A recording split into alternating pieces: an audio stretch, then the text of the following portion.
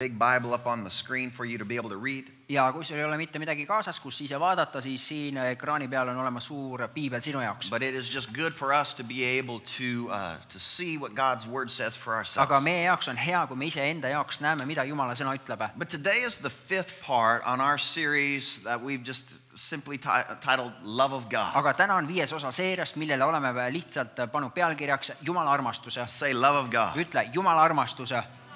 Amen. Amen. The love of God is the most amazing force in all of the universe. Jumala armastus on kõige imelisem vägi kogu universumis Uh, it, it is a force that can change a person's heart, it can change a person's life. see on vägi, mis saab muuta inimese südame ja inimese elu. The love of God can change your future. Jumala armastus saab muuta sinu tulevikku, And so you need to get it. nii et sina pead saama selle. You need to go after it, seek it, and find sa it. pead minema selle järgi, sa pead otsima seda ja pead leidma selle. And the love of God in the Greek is the, the word agape, and we've studied this over the past couple of weeks. ja Jumala armastus kreeka keeles on agape ja viimased paar nädalat me oleme õppinud seda, But this agape love of God, aga see agape, Jumala armastuse, it- it's, it's, it's a love that goes beyond human love. see on see armastus, mis on üle inimarmastusest You know, in English and in Estonian, uh, we're very limited in our word of love Inglise keeles, eesti keeles me oleme väga piiratud siis selle oma sõnaga, mis meil on armastuse kohta, because we just have one word for kuna love. meil on alati üks sõna armastuse, But in the Greek, there, there's uh, a, a couple words for love. aga kreeka keeles on olemas äh, mõned sõnad armastuse jaoks And it's this agape love, this unconditional love. Äh, agape armastus, see tingimusteta armastuse, It's a relentless love. see on selline järeleandmatu armastuse, It's a love without hesitation. see on armastus, mis ei kõhkle And it's a love that, that, that it will never change. ja see on see armastus, mis mitte kunagi ei muutu. So it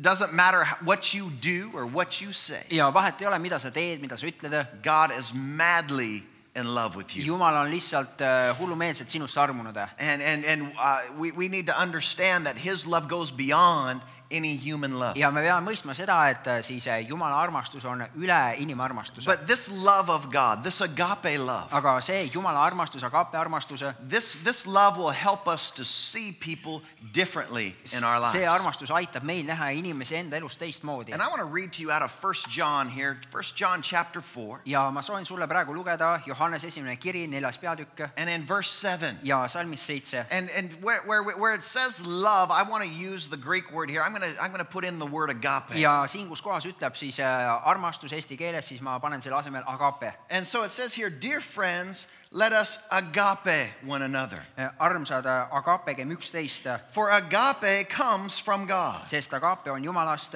And everyone who agapes has been born of God and knows God. ja igaüks, kes agapeb, on sündinud Jumalast ja tunneb Jumalat. And so this, this, this love goes beyond just us. nii et see armastus on äh, rohkem kui meie ise. And the Bible tells us that we need to show this love to one another. ja piibel ütleb, meie peaksime seda armastust näitama üksteisele. And you might think, well, that's impossible. How is that going to sa happen? võid mõelda, et see on ju võimatu, et kuidas see saab toimuda. Well, we need to grow in this love. meie peame kasvama selles armastuses. We need to grow in God's love for us meie peame kasvama Jumala armastuses meie vastu and grow in the way that we show God's love to others. ja kasvama selles viisis, kuidas meie näitame Jumala armastust teistele. But this verse right here gives us the key to doing this. aga siin see salm annab meile võtme, kuidas seda teha. It says here that you must be born of God. siin ütleb seda, et sa pead olema sündinud Jumalast. We must be born again. meie peame äh, siis äh, sündima uuesti For us to have this love and to know this love, selleks, et meil saaks olla see armastus, et me saaksime tunda seda we have. to have made Jesus Christ the Lord of our me lives. peame olema teinud Jeesusest Kristusest oma elu isanda. And, and then we are transformed on the inside by the Holy ja Spirit. siis me saame muudetud seestpoolt läbi püha vaimu And we are transformed by that love of God. ja me saame muudetud läbi selle Jumala And armastuse. so uh, let God's love change you. ja las Jumala armastus muuta sind And then do your best to live like God wants you to live. ja siis anna enda parim, et elada nii, nagu Jumal tahab, et sina elaksid That. you would love others the way that God loves you. et sina armastad teisi nii, nagu Jumal armastab sind. So the love of God will change the way that you see people. nii et Jumala armastus muudab selle viisi, kuidas sina näed inimesi The. love of God will change the way that you think and then change the way that you act. Jumala armastus muudab ka selle viisi, kuidas sina mõtled ja kuidas sa siis käitud. And let me read here out of, let's skip down just a few verses to verse 16 of ja the same siis chapter. jätame mõned salmid vahele ja läheme edasi salmi kuusteist. 1 John chapter 4 verse 16. Johannese eh, esimene kiri, neljas peatükk ja salm It says, so we know and we rely on the love that God has for us, for God is love. And whoever lives in love lives in God, and God in them. ja me oleme tunnetanud ja uskunud armastust, mis Jumalal on meie vastu. Jumal on armastus ja kes püsib armastuses, püsib Jumalas ja Jumal püsib temas. And so this is what we're talking about. We're talking about living with the love of God. nii et see on see, millest meie räägime, me räägime Jumala armastuses elamisest. What does the love of God do for us? et eh, siis eh, mida Jumala armastus teeb meie jaoks And how will the love of God flow through us to others? ja kuidas Jumala armastus voolab läbi meie teistele. So this is a really big theme, nii et see oli selline väga suur teema and I believe this is a challenging theme. ja for ma us. usun seda, et see on selline väljakutsetav esitav, väljakutset esitav And teema I meie hope over the jaoks. past several weeks that you've been challenged to, to love people better. ja ma loodan seda, et siin viimase paari nädala jooksul äh, sul on olnud selline väljakutse esit-, armastada inimesi rohkem paremini. But we have already seen in this series a few different things that the love of God will do. aga me oleme siin näinud siis äh, mõnda asja, mida Jumala armastus teeb. We've seen that the love of God will move us to others. me oleme näinud seda, et Jumala armastus äh, paneb meid liikuma teiste juurde. We have seen that the love of God has no loopholes. me oleme näinud seda, et Jumala armastusel ei ole seaduselünki. We see that the love of God heals. me näeme seda, et Jumala armastus teeb And terveks. last week we saw that the love of God serves and ja eelmine sacrifices. nädal me nägime seda, et Jumala armastus teenib ja ohverdab. And today I want us to see how the love of God forgives. ja täna ma tahan, et me näeksime seda, kuidas Jumala armastus andestab. Just declare that, say the love of God forgives. Äh, ütle seda, et Jumala armastus andestab, Jumala armastus andestab, amen. And this is what we, it's important for us to know. ja this. see on meie jaoks tähtis asi teada. And this is going to be a great uh, message for each and every one of you this morning. ja see saab olema väga hea suur sõnum igaühe teie jaoks täna hommikul. But God loves us. aga Jumal armastab meid And He forgives for all that we've already done. ja tema annab meile andeks kõik selle, mida me juba oleme teinud. And listen, ja kuula, He's already forgiven you for everything, every mistake that you will do. ta on sulle juba andeks andnud kõik need vead, eksimused, mida sina saad tegema. But for us to be able to, to have this, this uh, receive this forgiveness, aga selleks, et meie siis eh, saaksime vastu võtta selle andestuse, omada seda, the Bible tells us it's just one thing required of us piibel ütleb, et meilt on nõutud ainult ühte, is that we live a perfect life. et meie elaksime täiuslikku elu.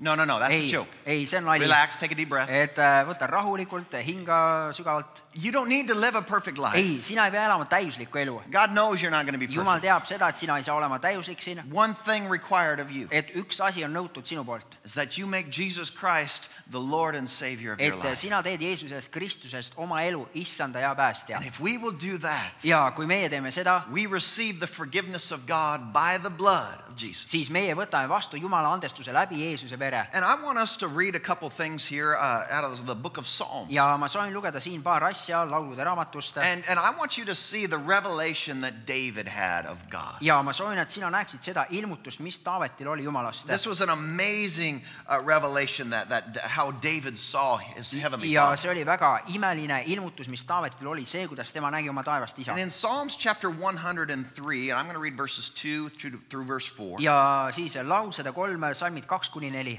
it says, And praise be to the Lord, my soul, my, uh, and, and forget not all of his benefits, kiida mu hing issandat ja ära unusta ainsatki tema heategu, who forgives all your sins and heals all your diseases, tema annab andeks kõik su ülekohtu, tema parandab kõik su tõved, who redeems your life from the pit and crowns you with love and compassion. tema lunastab su elu hukatusest ja ehib sind helduse ja halastusega nagu pärjaga. This is the God that we serve. et see on see Jumal, keda meie teenime, He loves us. tema armastab meid and he forgives and he heals. ja tema annab andeks, tema teeb terveks. But what I want to look at here this morning is he forgives. aga mida ma soovin, et me täna hommikul vaataksime, on see, et tema andestab, He forgives. tema annab andeks And he does it by pouring out his love and his compassion for you. ja ta teeb seda siis läbi selle, et ta valab oma armastuse ja oma kaastunde sinule. It says in Psalms chapter 86 and verse 5. ja ütleb siis laul kaheksakümmend kuus viis,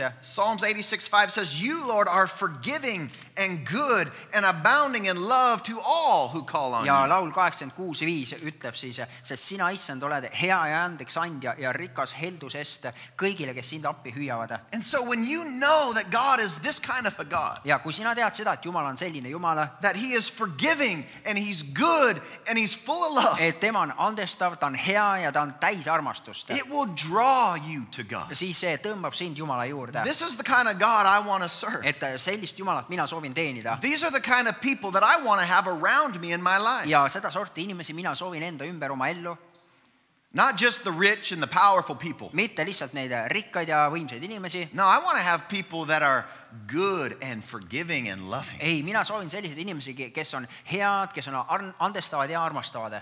Amen. That Amen. makes up for any amount of money. et eh, see on üle iga, igast rahasummast. If I could just have people that would love and support me, kui mul lihtsalt on sellised inimesed minu elus, kes armastavad mind, kes toetavad mind and that's what you want. ja see on see, mida sina This is. what we're all looking for. ja see on see, mida meie kõik otsime. We are living our life looking for the love of God. meie enda elus elame, otsides Jumala armastust And this is this is what's going to draw you to him ja see on see, mis tõmbab sind tema juurde, because this is who he is. kuna tema on see. And so now all of us we need to be forgiven. nii et kõik meie, me vajame andestust, Everybody needs a savior. igaüks vajab päästjat. Each and every one of us are are longing for for for for you know to be free. igaüks meist igatseb seda, et me oleksime vabad. Because how many know when you make a mistake, it will stay with you for a while? kui paljud teist teavad seda, et kui sina teed mingi vea, siis see jääb sinuga mingiks ajaks You know, it's going to be here. You're an idiot. You're an idiot. You're an idiot. see jääb siia pähe niimoodi, sa oled idioot, sa oled idioot, sa oled idioot. Why would you do it again and again and again and again? miks sa seda teed ja uuesti ja uuesti ja uuesti. And, and that will stay with you. ja see jääb sinuga. What, what we do is we go to God. mida me teeme, on see, et me läheme Jumala And when we juurde. ask forgiveness, when we repent and we turn from that kui way, meie palume Jumalalt andestust, me parandame meelt, me pöördume sellest, He frees us from that bondage of the guilt and the shame. siis tema vabastab meid sellest eh, süü ja süüdistuse ahelatest. And, and you know, you need to know everybody needs a Savior. ja sina pead teadma seda, et igaüks vajab Because päästjat. no one is good enough to go to God by their own works, their own sellepärast, et actions. mitte keegi ei ole nii hea, et tema saab minna Jumala ette siis eh, oma tegude ja oma, et tema nüüd ise on ennast teinud heaks. Uh, look at look at here in Colossians chapter one. ja palun vaata nüüd siia kiri esimene peatükk, Colossians one verses thirteen and verse fourteen. kiri kolosslastele eh, esimene peatükk, salmid kolmteist ja neliteist. Eh, this- It says here, for he has rescued us from the dominion of darkness and brought us into the kingdom of the Son whom he loves, kes meid on kiskunud välja pimeduse meelevallast ja asetanud oma armsa poja kuningriiki, in whom we have redemption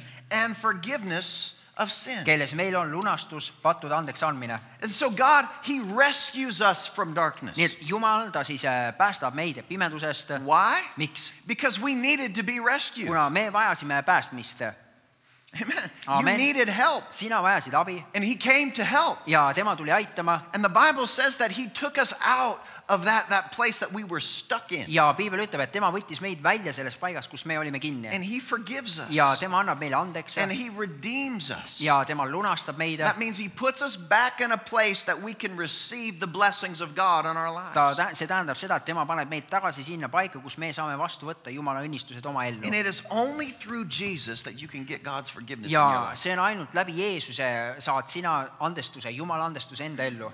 It's only through Jesus. ainult läbi Jeesuse saad selle vastu võtta Every. person on the planet has got to call out to the Lord to be. Iga inimene, kes siin planeedil on, ta peab hüüdma Jeesuse poole, et teda vastu võtta oma issandaks ja päästjaks. Everyone needs Jesus to be their Lord. igaüks vajab seda, et Jeesus on tema isand. It's not just about growing a church. asi ei ole lihtsalt selles, et kasvatada kogudust, It is about eternity for each and every man and woman on the planet. vaid asi on igavikus iga inimese suhtes eh, siin planeedil. Is that we would make Jesus the Lord and Savior of our et meie lives. teeksime Jeesusest oma elu issanda ja päästja. Turn with me to 1 John again, ja palun läheme jälle Johannese esimene kiri and we're going to go to chapter 1. ja läheme esimesse peatükki You might think, wow, he's reading a lot of Bible today. ja sa võid mõelda, et vau, ta täna loeb siin päris palju piiblit. We're in church. me oleme koguduses It's okay. ja see sobib päris hästi siia. Hallelujah. 1 John chapter 1. ja Johannese esimene kiri, esimene peatükk Look in verses 8 and verse 9. ja vaata salme kaheksa ja üheksa It says, If we claim to be without sin, we deceive ourselves, and the truth is not in us. kui me ütleme, meil ei ole pattu, siis me petame iseendid ja tõde ei ole meis. That's a big one. Eh, et eh, see on suur salm, Because Christians, we come to church we act like everything's perfect. sest kristlastena me tuleme vahest kogudusse, käitume nii, nagu kõik on eh, täiuslik perfect.. mina olen täiuslik, My family's minu perfect. perekond on täiuslik, Everything is perfect. kõik on täiuslik. Right? But On listen, we, we can't claim that we have no sin. aga me ei saa öelda seda, et meil ei ole pattu. I think it's good for us to, to present him the very best way possible. ma usun seda, et meil on äh, siis õige, et meie esindame teda nii hästi kui võimalik, But don't you think that you're higher than anybody else? aga ära mõtle seda, et sina oled kõrgem kui keegi teine. There's a difference. on olemas erinevus. Amen. Let's Amen. keep reading with verse 9. ja jätkame lugemist äh, salmist üheksa And remember who, who John is writing to? ja mäleta seda, kellele Johannes kirjutab. He's not writing to a bunch of sinners. ta ei kirjuta siin karjale patustele, He's writing to believers in Christ Jesus. vaid tema kirjutab usklikele, kes on siis usuvad Jeesusesse He's. writing to Christians. tema kirjutab And in. verse 9 it says, And if we confess our sins, he is faithful and just and will forgive us all our sins and purify us from all unrighteousness. kui me oma patud tunnistame, on tema ustav ja õige, nõnda et ta annab andeks meie patud ja puhastab meid kogu ülekohtust. So you are not going to be perfect. nii et sina ei saa olema täiuslik. As a believer in Jesus, it doesn't mean you will not make any more mistakes. kui sa oled usklik Jeesusesse, ei tähenda seda, et sa nüüd enam ei saa vigu tegema. You are going to need to go to God and you are going to need to get forgiveness when you miss it. sul on vaja, sul on siis, saab olema neid aegu, kus sul on vaja minna Jumala ette ja paluda andestust, võtta andust, andestus vastu siis, kui sina oled eksinud. And when do you do it? ja millal sa teed seda? Every time you've done wrong, iga kord, kui sa oled eksinud. right? You know, don't On need. save it up and okay, well, I'll get forgiveness every Easter. Ära siis see kuidagi säästa seda, kogu seda, et ah, et vot igale ülestõusmispühal, vot siis ma saan selle andestuse.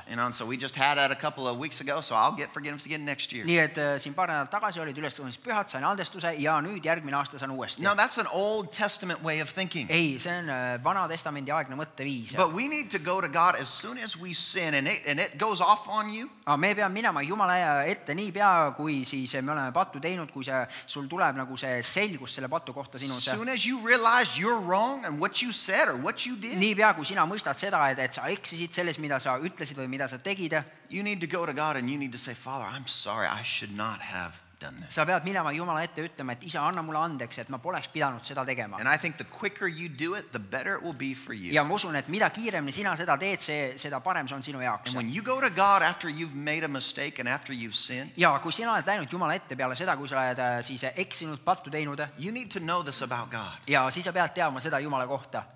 He loves you. tema armastab sind, He doesn't despise you. He's not ashamed of you. äh, ta ei jälesta sind, ta ei häbene sind, He loves you. vaid tema armastab sind That's why we can go to God. ja sellepärast meie läheme tema juurde. Say, Father, I'm sorry. isa, mul on kahju, I know you love me so much. ma tean, et sina armastad mind nii palju I acted like a fool. mina käitusin nagu rumala, I misrepresented you. ma esindasin sind valesti And I ask you to forgive ja ma palun, et anna mulle andeks. If you are sincere, you can go to God knowing that love never changes. ja kui sina oled siiras, siis sa võid minna Jumala ette ja teada seda, et, et see armastus ei muutu He kunagi. is an amazing God. tema on imeline Jumal. Look what it says here in Romans chapter 5. ja vaata, mida siin ütleb äh, kiri roomlastele viies Romans, chapter 5 and verse 8. kiri roomlastele viies peatükk ja salm kaheksa says, But God demonstrates his own love for us in this, that while we were still sinners, Christ died for us.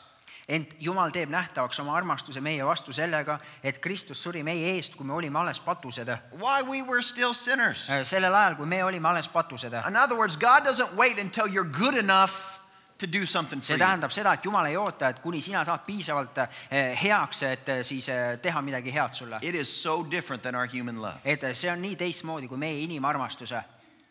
I waited until there was a woman who was good enough to me before I asked her to marry me. mina ootasin, et eh, saab olema selline piisavalt hea naine minu jaoks, enne kui mina palun teda endale abikaasaks. I didn't just go to the first pretty woman I saw and say, Would you marry me? ma ei läinud lihtsalt esimese ilusa naise juurde ja öelnud seda, et tead, kas sa abielluksid minuga või? No, I, Ei. I said, I, let's, let's test her out. Let's see how good she is to me first. ei, ma ütlesin, et eh, proovime järgi, vaatame, kui hea, esmalt vaatame, kui hea ta on minu If I'm going to jaoks. spend forever with her, I want to make sure she's a good one. kui mina veedan kogu igaviku temaga, siis teeme kindlaks, et ta on õige naine minu jaoks. What is that? et mis see on? Human love, see on inimarmastus, right? on nii. But a lot of times, we as people, we think that's how it is with God. aga väga tihti inimestena meie mõtleme, et nii on ka Jumalaga. We think, well, if I would could just be good enough, God would love me. kui ma lihtsalt saan olla piisavalt hea, siis Jumal armastab mind.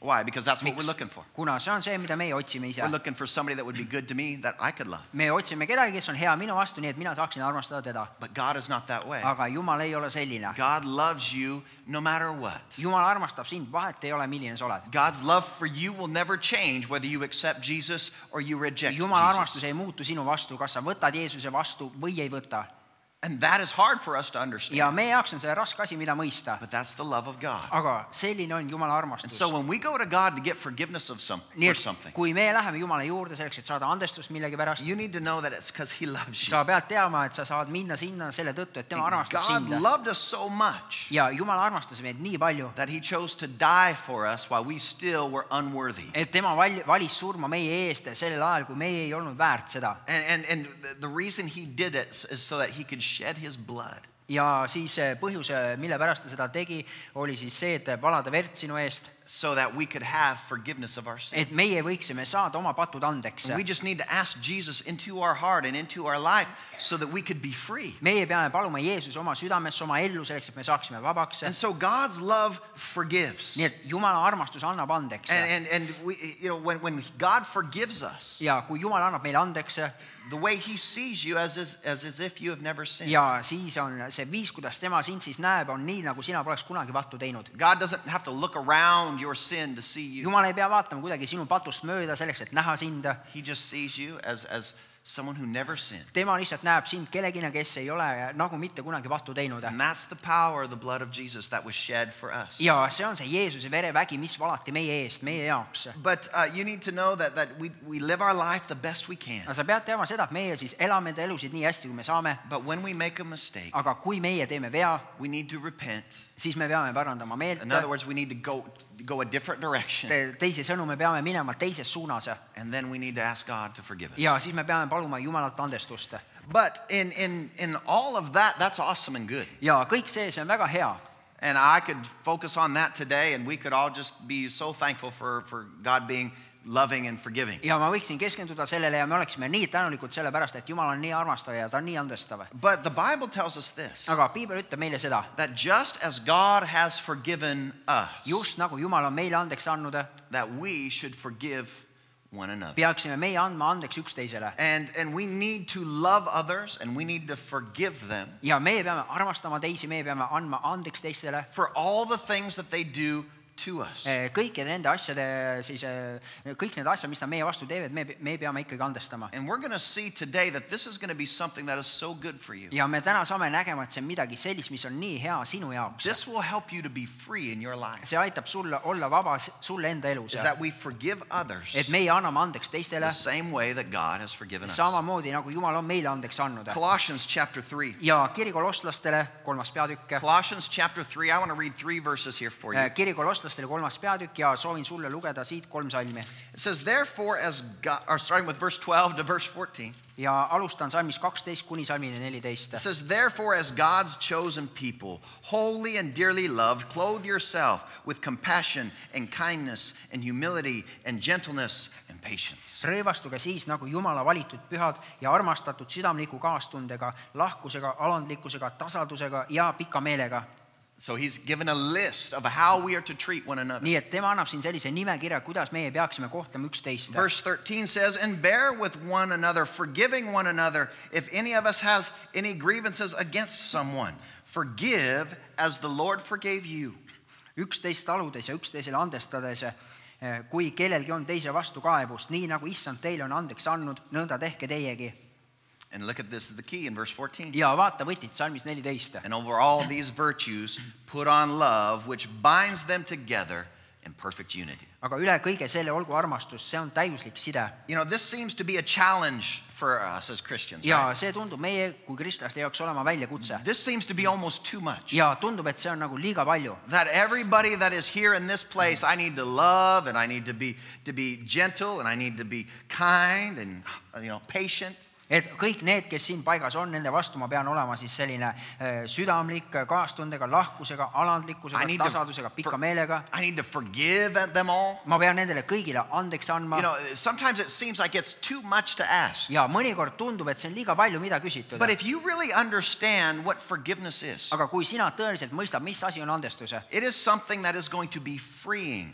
Siis see saab olema selline vabastav asi meie jaoks Uh, let, me, let me read some things out of, out of, out of Proverbs here. ja las ma loen mõned asjad õpetussõnadest Uh, I'll read it first just out of the, the normal, you can read out your normal translation, then we're going to read out of the Amplified. ja esmalt ma loen siis lihtsalt tavalisest tõlkest, siis äh, laiendatud piiblitõlkest. It says, Hatred stirs up conflict, but love covers over all wrongs. vihkamine õhutab riidu, aga armastus katab kinni kõik üleastumised, All wrongs. kõik üleastumised. Look what it says in the Amplified. ja vaata, mida ütleb siis äh, Amplified laiendatud piiblitõlkes. It says, Hate stirs up strife, Äh, vihkamine õhutab äh, riidu, but love covers and overwhelms all transgressions, aga armastus äh, katab ja matab kinni kõik üleastumised, forgiving and overlooking another's faults. andes andeks ja mööda vaadates teiste vigadest. And so you need to uh, be, be realistic and know this. ja ole reaalne, nüüd realistlik ja tea seda, All of us have been wronged by somebody at some time. igaüks, iga, igaühe meie vastu on keegi kunagi eksinud. Don't think that you're the only one who has difficulties. ja ära mõtle seda, et sina oled ainus, kellel on raskusi Don't think that you're, you know, that poor me attitude that I'm the only one that nobody loves. Ja ära mõtle nii, et oo vaene mina, mina olen ainus, keda mitte keegi ei armasta. Miks alati kõik need halvad asjad juhtuvad minule? You know, those thoughts are just so from the devil, it's not even true. ja need mõtted on nii saatanalt, need ei ole üldse tõde. But all of us have been wronged by people aga igaühe, igaühe meie vastu on inimesed eksinud at some time in our lives. mingil ajal meie elus. And, and people have said things and people have done things. inimesed on öelnud asju, nad on teinud asju, People have made us mad. inimesed on ajanud meid Am I in the right place kas today? ma olen täna hommikul õiges Uh, paigas? hello, you're all looking at me so holy or you're Te looking down vaatate mind sellise püha pilguga või siis vaatate alla, because you're, the, you're sitting maybe next to the person that is. Kuna sina võib-olla istud selle inimese kõrval, kes on Uh, and, and you know, the, the remedy to that is this ja ravim selle vastu on see, is just push all those hurts down inside of you et kõik need haiget saamised lihtsalt vajuta siia sügavale endasse try to cover them up. ja proovi need seal kinni katta. No, no, no. That's Ei. not how you're supposed to do it. ei, see ei ole see viis, kuidas sina pead tegema But seda. isn't that what we try to do? Oh, they hurt me, but I'm just going to pretend like nothing happened. kas ei ole nii või, et vot nad tegid mulle haiget, aga ma proovin teeselda nüüd nii, nagu nad ei oleks mulle mitte kui midagi teinud.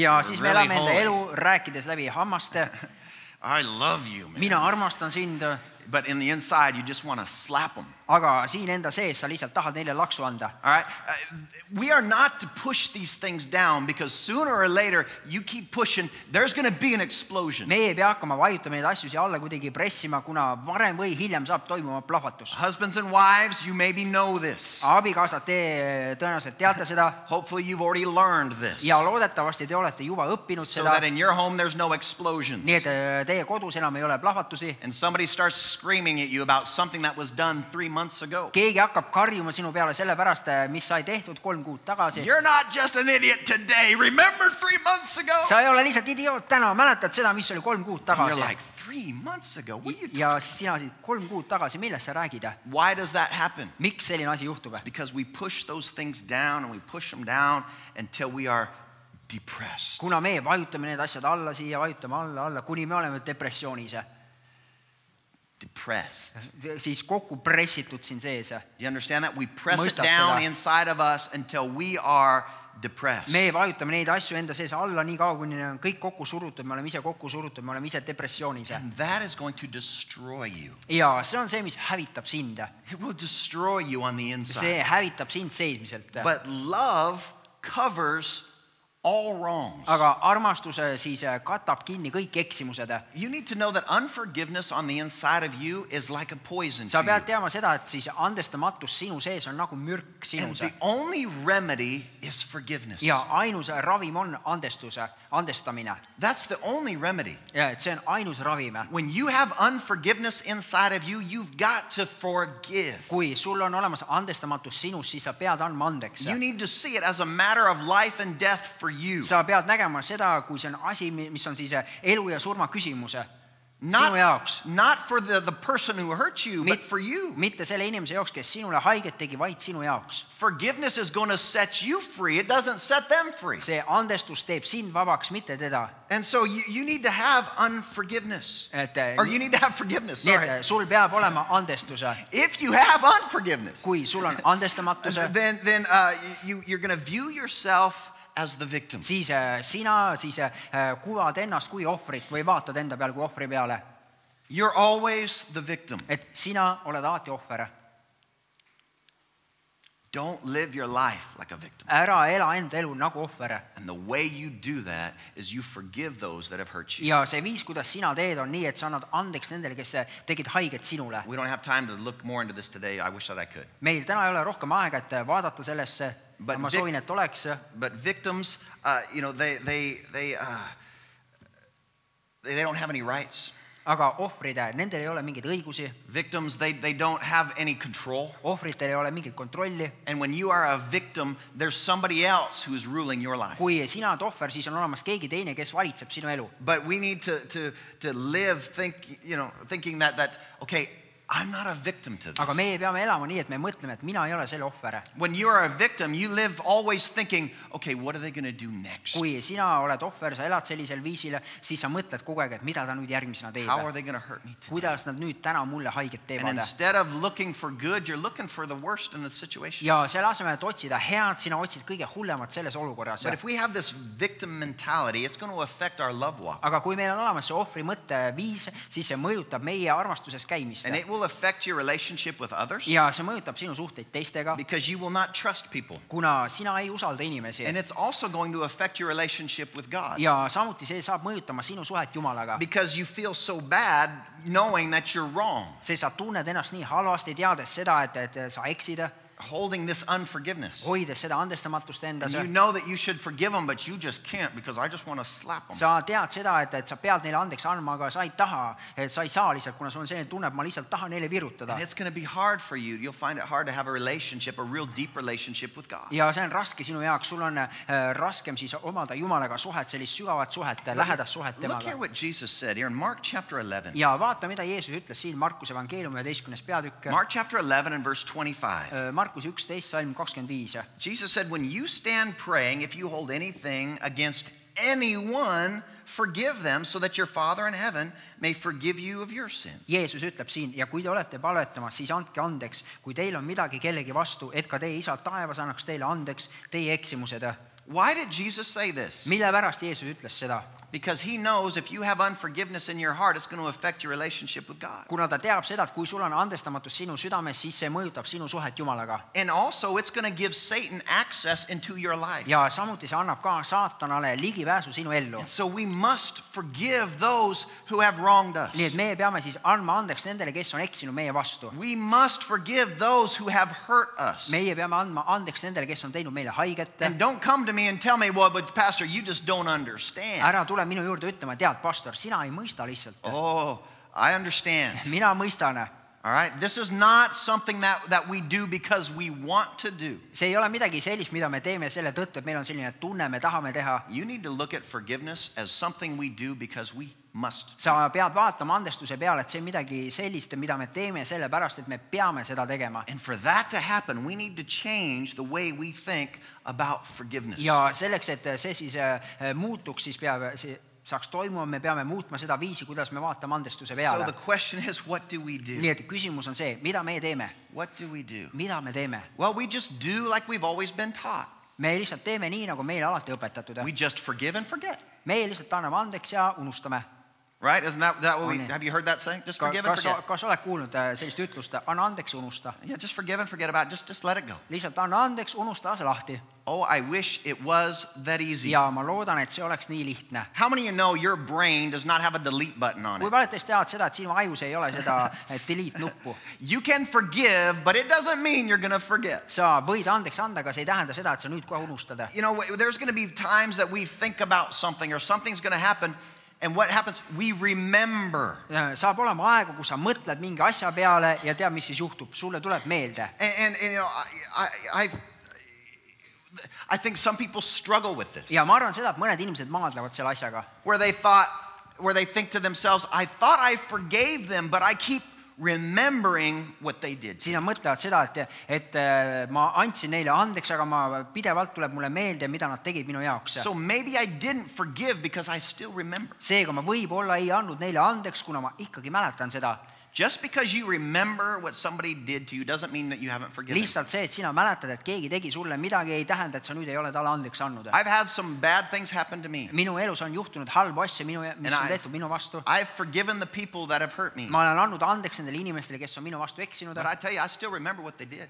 aga ma ikkagi mäletan seda, mida nad on mulle teinud. And when I go through something, when I'm in the middle of something and I remember that, ja kui ma lähen läbi millestki ja mulle tuleb see meelde, I need to remind myself, but I've forgiven them. siis ma pean endale meenutama, aga mina olen neile andeks andnud. I've forgiven them. mina annan neile andeks.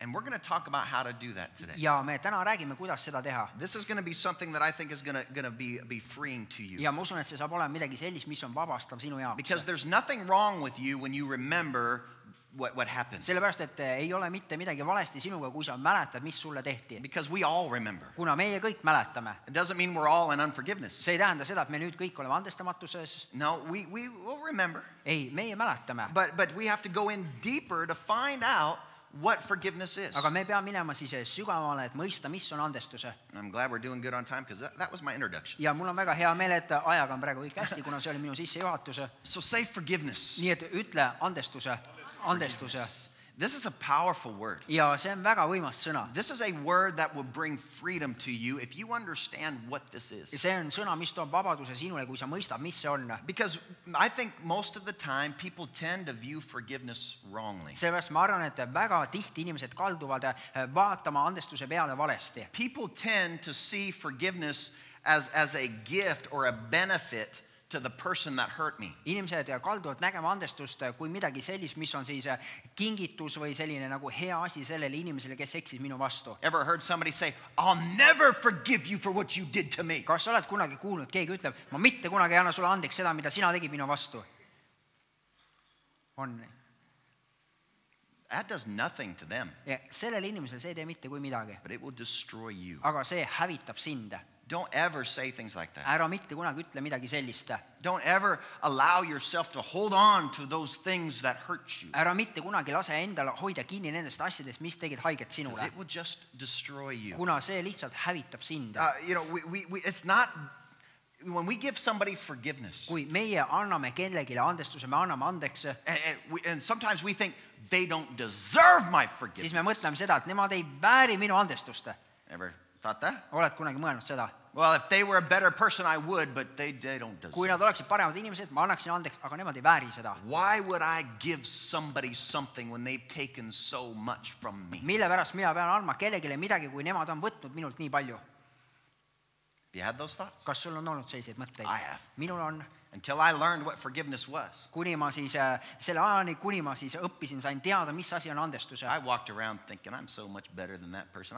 I, I don't even need to talk to them anymore. ma käisin ringi, mõtlesin, et ma olen nii palju parem inimene kui, kui tema või nemad ja ma üldse ei peagi rääkima sellisega. They're not worth my time. Nemad ei ole väärt minu You aega. had those thoughts before? kas sul varem on olnud selliseid mõtteid? I just, uh, you, you hurt me and man, I sa tegid mulle haiget. never. I'm going to Mitte punish you by never forgiving you. ma karistan sind nii, et ma mitte kunagi ei anna sulle andeks. And most of the time they're living their lives, they don't even know you're still angry. ja enamus aega nemad elavad enda elu nii, et nad ei teagi üldse, et sina oled nende peale vihane. But every time you see them, you're just burning inside. aga iga kord, kui sina neid näed, siis sa lihtsalt põled seesmiselt. And they're just happy, enjoying life. Nemad on lihtsalt õnnelikud, naudivad elu And that makes you even more mad, right? ja see ajab sind veel rohkem vihale. You should be feeling sorry. sa peaksid kahetsema, What's wrong with you? mis sul viga on. How can you smile after you've done that to me? kuidas sina saad äh, naerda pärast seda, mida sa oled teinud minule? 17 and a half years ago. seitseteist ja pool aastat tagasi, You know, right? Because we're holding on to that. Kuna meie hoiame kinni sellest And we don't want to let that thing go. ja me ei taha seda lasta lahti. And so uh,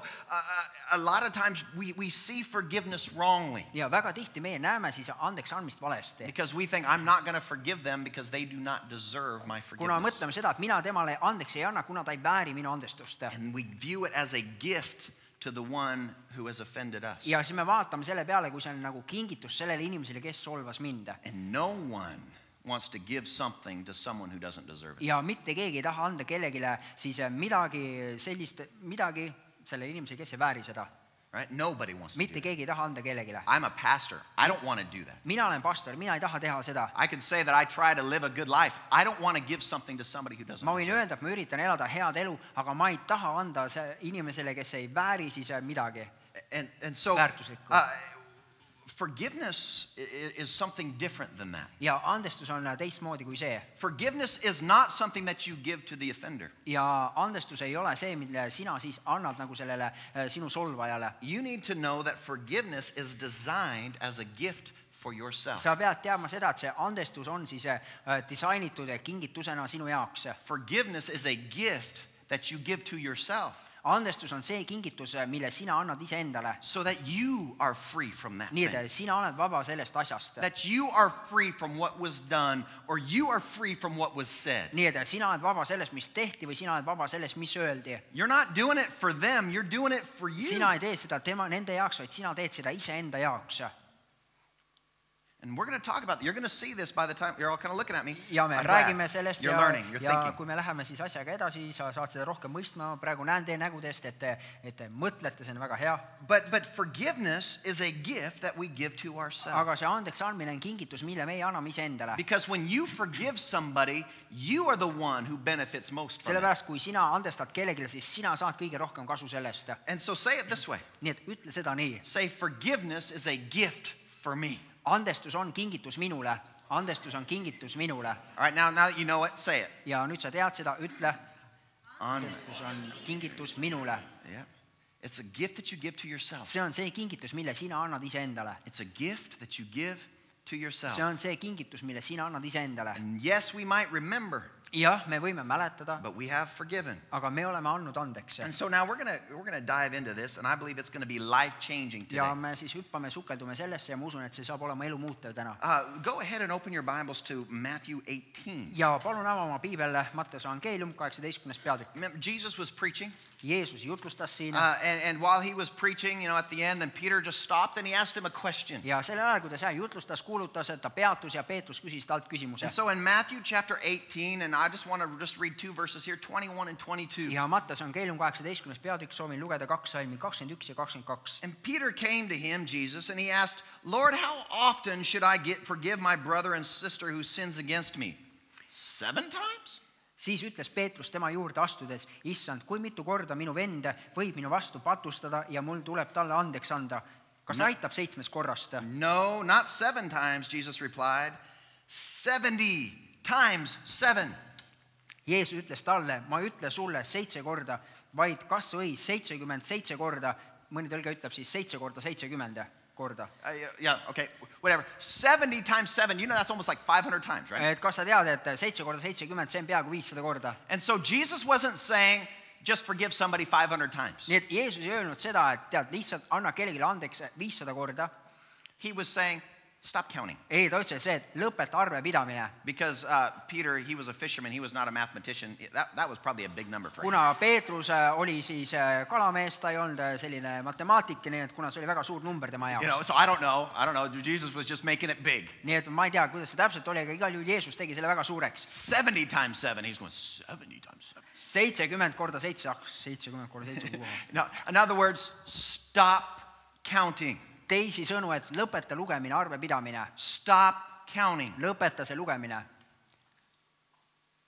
When Peter goes to Jesus, he thought he was being very spiritual. kui Peetrus läks Jeesuse juurde, siis ta mõtles, et tema on nüüd väga selline vaimulik. He thought he was being so generous. ta mõtles, et tema on nii helde, And when my sister hurts me over and over again, kui minu õde teeb mulle haiget uuesti ja uuesti, should I forgive her even like seven times? kas ma pean talle andma andeks isegi seitse korda And Jesus is like, is, is, you don't get it. ja Jeesus ütleb talle, kuule, sa ei saa aru sellest You. don't understand the question you're asking. sa ei mõista seda küsimust, mida sina küsid. Because you're not forgiving for her or for him, you're forgiving for you. sellepärast, et sina ei anna andeks äh, tema jaoks või tema jaoks, vaid sa annad andeks iseenda jaoks. And so uh, he did not understand what was going on. nii et tema ei mõistnud, mis oli toimumas. And so Jesus said, You just forgive every time. Jeesus ütles nii, et sa lihtsalt annad andeks iga korda. Now, let me just say this uh, as a kind of a clause in this. ja las ma öelda sulle siis selle nagu sellise vaheasjana siin, Uh, to forgive someone et selleks, et anda kellelegi andeks, doesn't mean that you, keep, you need to keep them in your life. see ei tähenda seda, et sa pead nüüd hoidma seda inimest jätkuvalt enda elus. When you forgive someone, it doesn't mean that you need to go back into a dangerous situation again. kui sina ta andeks kellelegi, see ei tähenda seda, et sa nüüd pead minema jälle mingisse ohtlikusse olukorda selle inimesega where, you're going to be hurt again. kus sina saad haiget jälle. You need to be wise. sina pead olema tark, You need to be wise. sa pead olema tark You know, there, there are some people that you cannot have in your life. on olemas mõned inimesed, keda sina ei saa omada enda elus, keda ei Because või olla sinu elus. You know if they're in your life long enough, they will hurt you. sellepärast sa tead, et kui nemad on sinu elus äh, küllaltki kaua, siis nad teevad sulle haiget You know, when, when I was a kid, I liked fans, you know, those things that blow around. ja kui mina olin laps, siis mulle meeldisid sellised ventilaatorid. You know, had- did you, have you ever had one of those fans blowing and you try to talk into it? kas sul on olnud kunagi selline ventilaator sul laua peal näiteks ja siis sa proovid rääkida And the voice bounces back at you. And it's, ja oh, siis sa that's so teed seal cool. niimoodi häält, räägid seal ja siis see heli põrkub tagasi sulle. Right? And then sometimes you ride your finger on that fan. ja siis sa mõnikord paned oma sõrme sinna vahele ja siis käib. Have you ever done that? Just, just tried to ride the blade kas sa oled kunagi teinud lihtsalt niimoodi, et seal äh, puutuda seda and then it gets in too far. Ping! Oh, ow! ja, ja, ja siis see läheb liiga lähedale ja siis käid laksu vastu sõrme ära ja siis on When ai, ai it,. when it hurts you, kui see teeb sulle haiget, what's the lesson you learn? siis mis on see õppetund, mida sina õppisid? Don't do that again. ära tee seda enam, Stop doing that. lõpeta selle tegemine. Stop playing with the fan or you're going to lose a finger. lõpeta selle ventilaatoriga mängimine või sa kaotad oma sõrme. You know, and if somebody hurts you, kui keegi teeb sinule what's haiget the, lesson you need to learn there? siis mis on see õppetund, mida sul on vaja õppida seal? Stay away from them hoia neist eemale or else you're going to get hurt again. või muidu sina saad haiget uuesti. Don't keep putting yourself into a place where you're going to be damaged. ära pane ennast jätkuvalt sinna paika, kus kohas sina saad kahjustada, And so, kahjustatud. forgiving them nii et nendele andeks andmine does not mean you go back to ei them. tähenda seda, et sina lähed tagasi nende juurde. Are you getting that? kas saad aru sellest? Okay, so clause over. Let's go back to the ja teaching. nüüd paneme selle kinni, selle asja ja läheme nüüd edasi. Forgiveness is important. ja andestamine, andeks andmine on tähtis. And you know what Peter was asking Jesus? ja tead, mida Peetrus küsis Jeesuselt? He was like, forgiveness. Okay, that's a good one. Seven times. Hmm. ta ütles, et andestus, vot see on väga hea asi, seitse korda hmm.. That seems like a big number for me to forgive somebody for the same thing. see Seven times. tundub minu jaoks nagu väga suur number, et kellelegi anda andeks seitse korda sama asja You know, if you eest. come up and kick me in the leg and I forgive you, and you kick me in the leg and I forgive you about the Ne- third time, Näiteks kui sina tuled minu juurde, lööd mulle vastu jalga niimoodi, et siis ma annan sulle andeks, eks ju, ja jälle tuled, lööd ja, ja peale kolmandat korda mul enam ei ole sellist äh, soovi sulle andeks anda. After seven times, I would be really holy to forgive you again. ja peale seitsmendat korda, siis ma oleksin väga püha, et sulle uuesti andeks anda And. so this is what Peter's thinking. Seven times, that's a big number. nii et äh, see on see, mida Peetrus mõtles, vot see seitse, kui ma selle ära pingutan, see on väga suur number. But you know what Peter was really asking here? aga kas tead, mida Peetrus tegelikult siin küsis? When is enough enough? millal küll on küll? When is enough enough, millal Jesus? küll on küll, aitab Jeesus. Yeah, you say you're good and forgiving and you'll forgive everybody for All right, when is it enough? When, ta when- ütleb, where's et the ja, line? ja et sina oled hea, sa oled andestav, aga millal on kõik, millal on see piir? When is it okay for me, Jesus, just to take out my sword and try to cut somebody's head off? when is that Jeesus, moment? et millal on see hetk, kus ma lihtsalt võin võtta oma mõõga välja ja lüüa kellelegi kõrva või pea otsast. Because we know that Peter, he lived his life right on that edge. He was kuna me ready. teame, et Peetrus, tema elas enda elu vot seal piiri peal kogu aeg selle ääre peal, ta oli I've got, I've got a valmis. sword, man. Don't you et mess- mul, mul on mõõk, ära jama minuga, See, see that blade right näed seda? You know, uh, he lived kind of on the edge. He was an extreme guy. ta elas kogu aeg seal piiri peal, ta oli selline ekstreemne mees. Remember, they came to get Jesus. He tried to cut off the soldier's head, mäletad seda, et kui nad tulid Jeesust kinni võtma, siis ta proovis selle sõduri pea maha lüüa and he missed, and he cut off his ear. ja ta lõi siis mööda, nii et ta lõikas talle kõrva maha. And then Jesus went down. He picked up the ear off the ground, put it back on the siis guy's head, Jeesus võttis selle kõrva sealt maast üles ja pani tagasi mehe pea külge and he said, "Peter, put your sword ja away. ütles, et Peetrus, pane oma mõõk ära, You haven't learned anything yet." et sa ei ole veel mitte kui midagi õppinud. But but Peter, he was saying, "When is enough enough?" aga Peetrus äh, siis ütles, küsis, et millal on küll küll And and his question ja tema küsimus is a lot of times our on question väga tihti meie küsimus. is when when do I get to say, "All right, that's it. I'm not going to forgive you." millal, any." millal ma saan öelda, et nii, aitab nüüd, enam mina sulle andeks ei anna, kõik. And Peter's question reveals this that he didn't even know what the question ja was. Peetruse küsimus näitab seda, et ta tegelikult üldse ei mõistnud seda, et eh, milles on küsimus. He didn't understand et forgiveness. tema ei mõistnud andestust. He didn't understand what he was asking about, so the answer wasn't going to make nii et sense. ta ei mõistnud, et eh, mis oli see, mida tema küsis, et ja siis selle tõttu ka siis see, see vastus eh, So- ei omanud, ei olnud nagu tähendusrikas Yeah. And so, uh, uh, you know, and you might say, well, what? I don't understand either then. Siis sa võid öelda, et aga mina ka ei mõista, Because I think the same thing. Okay, I'm going to let you do it one more time. kuna mina mõtlen, et ma lasen sul teha veel ühe korra give you one more chance, and then that's it. ma annan sulle ühe võimaluse, siis on kõik. Now, again, when you're parenting, how many, no, parents need to say that sometimes. kui sina oled lapsevanem, siis paljud teist teavad, et sa mõnikord pead ütlema seda One more time, and then that's it. You're grounded. üks kord veel ja siis äh, oled koduarestis. You know, eh, eh, so, so the one more time is okay when you're a parent, nii et üks, üks kord veel, see on hea, kui sina oled lapsevanem. but it means you still love your kids, see tähendab, et sa ikkagi armastad oma lapsi, right? You're No not need. holding that against them, et sa ei hoia seda nende vastu, but for some actions, there is going to be punishment. aga mõndade tegude puhul saab olema karistus. But when it comes to people, aga mis puutub inimestesse, when it comes to the relationships in your life, mis puutub nendesse suhetesse sinu elus, it's not one more time and then I will not forgive you. ei anymore. ole nii, et üks kord veel ja ma sulle enam andeks ei anna. Because I'm not giving forgiveness for you, I'm giving forgiveness for me. sellepärast, et mina ei andesta sinu pärast, vaid ma andestan iseenda pärast. And so let's, let's go a step further. ja lähme veel sammu edasi. Let's, let's look at the relationships that, that we have in our life. Läheme sammu kaugemale, vaatame neid suhteid, mis meil on meie elus You. know, when, when somebody has done something wrong, kui keegi on teinud midagi valesti, when somebody has created a deficit or, or a loss in the relationship that you have, kui keegi siis on toonud mingisuguse siis äh, kao sinna suhtesse, mis teil on olnud, uh, you know, what do we do? siis mida meie teeme? How do we get that back? kuidas meie saame selle tagasi? You know, uh, you know, they're the ones that took something from you. et nemad on need, kes võtsid sinult midagi, So how are we going to get back what was taken? nii et kuidas meie saame tagasi selle, mis meilt võeti And at some point, we, we want to, I want to get even. Ja ma, ma, siis äh, mingil hetkel mina soovin asjad ära klaarida. Ever had that thought? kas sul kunagi on olnud selline mõte? Sa tegid seda minu vastu, varastasid mult, mina varastan sinult. You're not paying me enough. I'm going to take a little bit out of that cash register at the end of the day because you just don't pay me enough to be sa here. ei maksa mulle piisavalt, ma lihtsalt võtan siin tööpäeva lõpus sealt kassast endale raha, kuna sina ei maksa mulle They piisavalt. might not even have done anything to you, but all of a sudden you've got this bitterness and unforgiveness. Nad ei pruugi isegi olla teinud midagi sinu vastu, aga äkki sinu sees on see kibedus. You were so happy when they gave you the job, but now three years later you're like, they So- don't appreciate me and all the work that I do. Sa olid nii õnnelik, kui nemad sulle selle töö andsid, aga nüüd on nii, et, et, et uh, nad üldse ei hinda mind, et mina teen siin tööd ja You know, uh, how many know a lot of times in our mind we could get ourselves in a bad place. ja kui paljud teist teavad seda, et mõnikord oma mõistuses me võime siis eh, jõuda halba kohta And we can make something that is good even turn bad just by our thought life. ja me võime teha nii, et mingi asi, mis tegelikult on hea, lihtsalt meie oma siis, oma mõtteviisiga, oma mõttemaailmaga muudame selle halvaks iseenda Your jaoks. thought life can change your life. sinu mõtteelu, see võib muuta sinu elu. And it can be for good or it can be for bad. see võib olla kas eh, hea suunas või halva suunas. I want my thought life to change my life for good. ma not bad. tahan seda, et see minu see mõtteelu, see muudaks minu elu paremuse suunas, mitte halvema That's why the suunas. Bible says to think about and to meditate on the good things of God. sellepärast piibel ütleb, et mõelge ja siis mediteerige, mõtisklege heade asjade üle.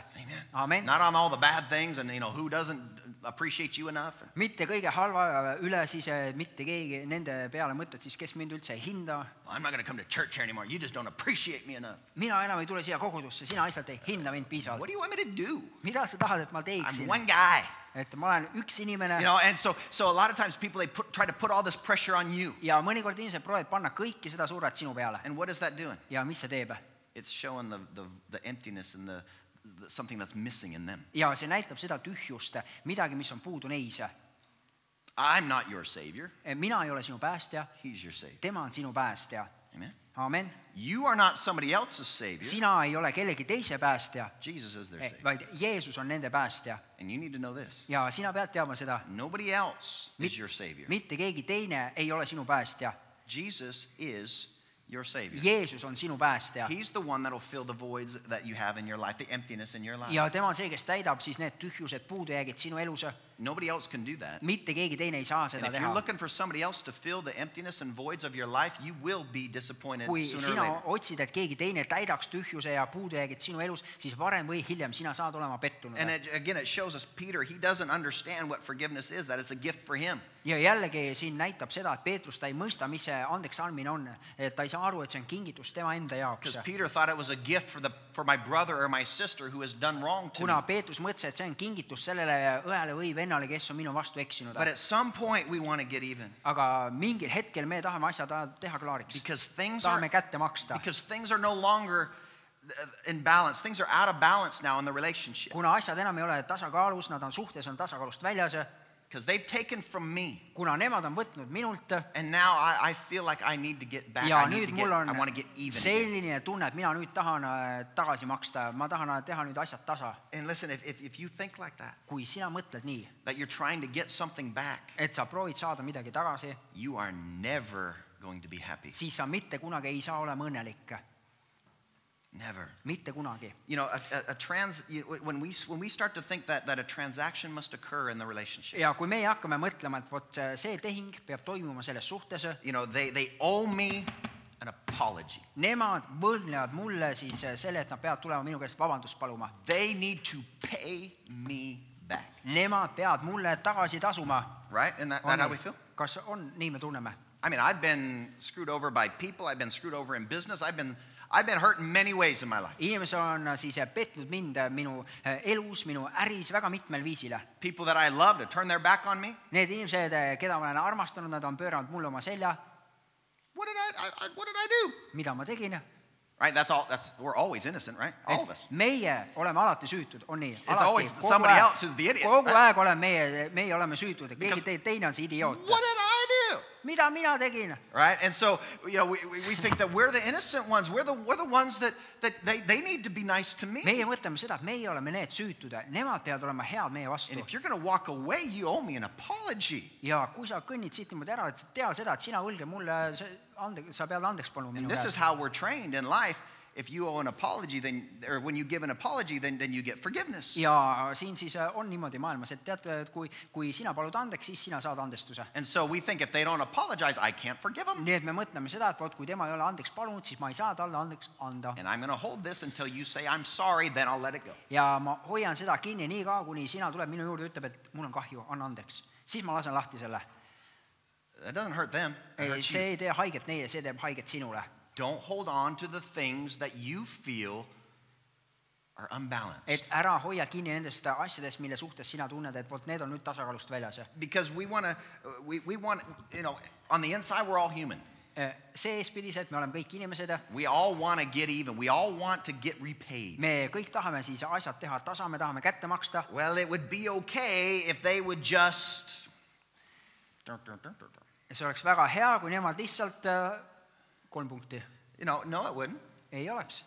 Whatever they do is not really probably going to make it okay. mida iganes nemad teevad, tõenäoliselt äh, see ei tee asju korda. Well, you know, i- i- if I could just tell them what I think about them, kui ma lihtsalt saaksin öelda neile, mida ma mõtlen neist then, everything would be okay. siis oleks kõik hästi. No, all that's Ei. going to do is cause more imbalance in this relationship. kõik, mida see teeb, on see, see toob äh, rohkem viib äh, siis äh, selle suhte tasakaalust välja. They need to know how they made me feel. Nad peavad teadma, kuidas nemad panid mind tundma, kui nad tegid seda või kui nad ütlesid seda. No, you don't, you don't need to go into all that. ei, sa ei pea minema kõigesse sellesse. Now, husbands and wives, that's a different story. We need to have communication. jah, naised, naine, mees siis abielus, see on teistmoodi asi. We need communication in a marriage. meie peame suhtlema abielus, But when it, when it comes to relationships and people that have hurt you, aga mis puutub siis äh, nendesse suhetesse, teised inimesed siis, kes on teinud sulle for haiget, you to forgive them, you don't need an apology. selleks, et äh, neile andeks anda, sa ei vaja seda, et nad paluksid And for andestust you to sinu käest. forgive them, you don't need to explain how much they hurt you. ja selleks, et neile andeks anda, ei ole vaja seda, et sa pead ennem saama neile seletada, kui palju nad sulle haiget on teinud. Because in most cases, listen to this sellepärast enamus juhtudel, kuula seda nüüd, what was taken can never be replaced. see, mis võeti, seda mitte kunagi ei saa asendada. In most cases, what Eh? was taken can never be replaced. enamus juhtudel see, mis võeti, seda ei saa enam asendada. Uh, you know, they can never pay you back even if they wanted to. Nad in mitte most kunagi cases. ei saa sulle tagasi maksta, isegi kui nad tahaksid, enamus juhtudel. Because, uh, you know, whatever they have taken, it's gone forever. sellepärast see, mida iganes nemad võtsid, see on läinud igaveseks. Whether it would be time, kas see on aeg, time that they stole and wasted is gone forever. see aeg, mis nad võtsid, mis sai raisatud, see on igaveseks läinud, Maybe money, raisatud, võib-olla raha a relationship, või suhe, your reputation, sinu maine, trust. usalduse. How many know just because you forgive somebody doesn't mean you need to trust ja kui palju teist teavad seda, et see, kui sina annad kellelegi andeks, ei tähenda seda, et sa nüüd pead hakkama neid jälle usaldama samamoodi. Trust can be gone forever. usaldus võib minna igaveseks. Maybe, maybe your childhood. Et võib-olla sinu lapsepõlve, Maybe that person stole your childhood and it can never be replaced. võib-olla see inimene varastas sinu lapsepõlve ja seda enam ei saa asendada. It can never be replaced. mitte kuna, seda ei saa enam asendada.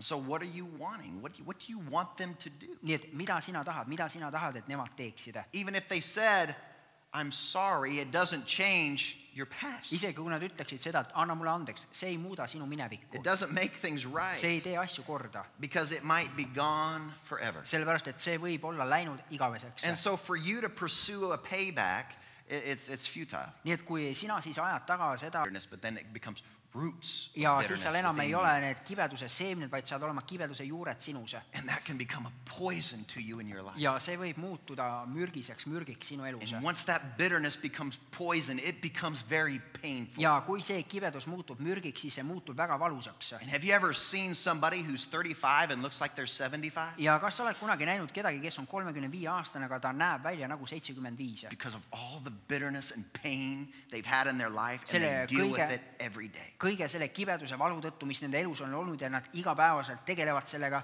And they walk around, they haven't smiled for years. ja siis nad käivad ringi nii, et nad ei ole aastaid naeratanud ja siis see nägu on lihtsalt depressioonis ja nad on lihtsalt sellises suures kibeduses. They have no hope for life. ja siis sa lihtsalt vaatad mõne inimese peale sa näed seda, et neil ei ole mitte mingit lootust nende I elus. walk, pa- I walk past some people, I just want to grab them and hug them ja kui mina lähen mööda mõndast inimestest, siis on selline tunne, lihtsalt tahaks kinni võtta ja kalistada neid. because you could see just on the outside that they haven't, they haven't been free for a long time kuna sina näed seda, et nad ei ole olnud vabad väga pikka aega, because they're holding on to that that was done to them so long ago kuna nemad hoiavad kinni millestki, mis tehti neile nii kaua aega tagasi and they've never been able to let it go. ja nad ei ole mitte kunagi olnud võimelised laskma sellest lahti. it's become so painful that you could see it on the outside. ja see on saanud nii valusaks nende jaoks, et sa võid seda väliselt näha. It starts being painful inside, it ends up looking like pain on the outside. see saab alguse nii, et see on valus kõigepealt seestpoolt ja siis see muutub välispidiselt ka nähtavaks, see valu. And, and uh, we, we talked about this before, this, this little principle. ja me oleme varem rääkinud sellest, sellest väiksest printsiibist, Hurt people, hurt people. haiget saanud inimesed teevad haiget. Hurt people, hurt people. haiget saanud inimesed teevad haiget. And a lot of times they hurt people with the same way they were hurt ja väga tihti nad teevad teistele inimestele haiget samal moel, nagu tehti neile haiget. because they're holding on that. They pressed that down inside of them. kuna nad hoiavad seda, nad on selle vajutanud endas niimoodi alla surunud And then when the opportunity comes, they're going to hurt somebody else because they were hurt that way. ja siis, kui võimalus tuleb, siis nad teevad haiget kellelegi teisele, kuna neile tehti haiget nii. And they might not even realize, they might not even have planned it, but that's what comes out. Nad isegi ei pruugi seda nii-öelda teadlikult teha, plaanida, aga see lihtsalt tuleb välja neist, because of the roots that were already in there. nende juurte tõttu, mis juba olid neis Then you'll see the fruit. ja siis sa näed seda vilja sealt. And so we've got to be really careful nii et meie peame olema väga to, understand that forgiveness is designed to help you to be free, not them to be free. et me nüüd mõistaksime seda, et see andeks andmine on selle jaoks oluline, et ta teeb vabaks sind, mitte seda teist inimest You know, and, and a lot of times we have you ever asked yourself this question when you've done something is how did I get to this place? ja väga tihti on olnud nii, et kas sina oled kunagi jõudnud sinna olukorda, kus sa küsid endalt, et kuidas ma jõudsin siia How did paika, I end up doing this? kuidas ma siis juhtus nii, et ma nüüd tegin seda. That's not what I wanted to do, ei, but ma it's what I did., ma ei tahtnud seda teha, aga see on see, mida mina tegin. You ever had that conversation with kas sul on olnud kunagi endaga sellist vestlust? Minul on. It all starts from those roots of bitterness that you haven't let go in your life. ja kõik saab alguse nendest kibeduse juurtest, millest sina ei ole lasknud lahti enda elus. And maybe there's some things down there that you've, you've forgotten about, but you're still holding on to. võib-olla sinus on mõndasid selliseid asju, mida sa oled unustanud, aga need on ikka seal olemas, sa hoiad kinni neist And it's going to affect your life. ja see mõjutab sinu elu. Now, we don't have time to read it all, but at the end of this parable, ja nüüd meil ei ole aega kõike lugeda, aga siin selle tähendamissõna lõpus you know, Peter asked the question, when is enough?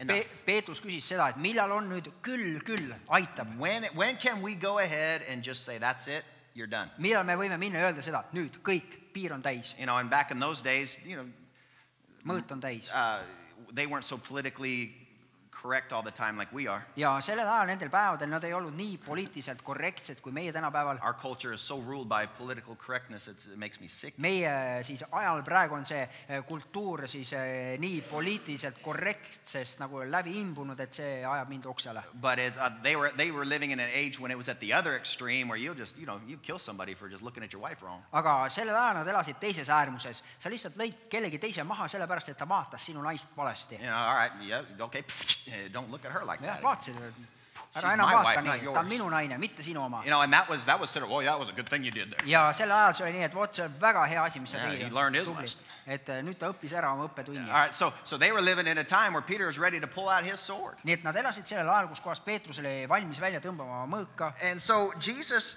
right after that, he tells another story. ja kohe peale seda Jeesus räägib teise loo Peter said, when's enough enough? And Jesus said, it's, it's you know, you're, you, you misunderstood ja forgiveness. Peetrus küsis, et millal on mõõt täis ja siis Jeesus ütles talle, et sa said üldse asjast valesti aru, Because we always forgive. kuna me alati anname andeks And then Jesus tells a story about a guy who had a big debt. ja siis Jeesus rääkis loo ühest mehest, kellel oli suur võlg And uh, he goes to the, the, the, the master and, and he says, Please forgive me of my debt. I owe you more than I could ever pay. ja siis ta läheb isanda juurde, ütleb talle, et, palun anna mulle andeks mu võlg, et äh, see on nii suur, et ma ei suuda nii palju tagasi maksta. And then the master says, All right, I forgive you of your debt.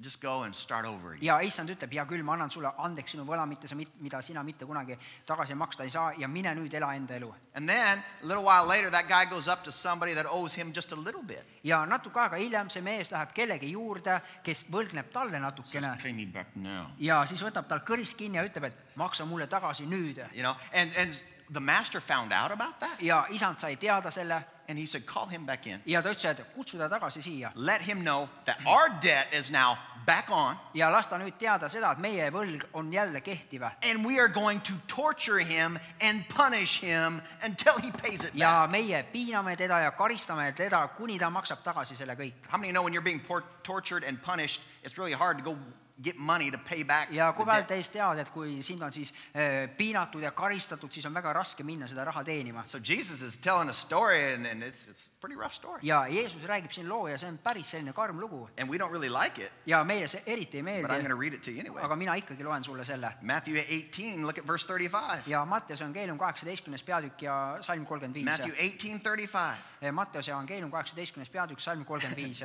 Jesus says this. Jeesus ütleb seda And this is how my heavenly Father will treat each one of you unless you forgive your brother and sister from your heart.